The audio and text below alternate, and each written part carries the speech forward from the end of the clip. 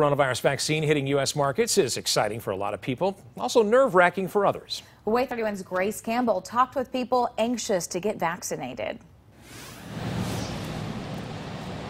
Dan, Naja, the response I got on my Facebook page shows an overwhelming amount of people who want to get vaccinated.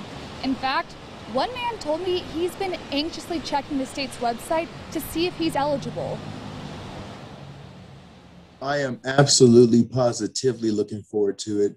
Leonard Adams says he regularly checks the state's vaccine eligibility so he can sign up right away. Huntsville Hospital's Vice President of Operations says you should get any COVID vaccine you can. Tracy Doty urges against picking which location you get one from based on what vaccine they have. If you get a chance to get it, uh, get it. The scarcity of the vaccines is a huge issue now, uh, not only across North Alabama, but the state and the, and the U.S. for that matter. Adams says he will gladly roll up his sleeves for any COVID vaccine and he believes more options available will help get things back to normal. I actually feel even more hopeful. Um, it seems so tough to get the vaccine now, and with more options on the market, it seems we'll have a better chance of getting the vaccine sooner.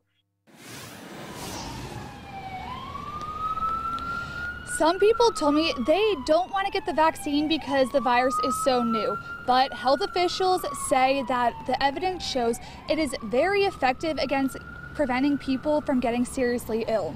Reporting live in Huntsville, Grace Campbell, WAAY 31 News.